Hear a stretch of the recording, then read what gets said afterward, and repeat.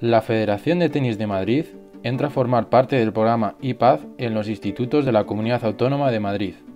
El objetivo es introducir a los alumnos a la práctica del tenis, mediante el aprendizaje de las bases de los golpes de fondo y servicio, utilizando el touch tenis como medio para la práctica y la competición. ¿Cómo se va a realizar? A través de los clubes y escuelas de tenis cercanos a los centros educativos. ¿Dónde se hará? En las instalaciones de los clubes o escuelas de tenis, siempre de acuerdo con el coordinador del centro o en el propio centro educativo si así lo prefieren. En ese caso no es necesario contar con pista de tenis, ya que se montarían pistas de tenis adaptadas en el patio o pista polideportiva del centro. Por último, ¿qué material se va a necesitar?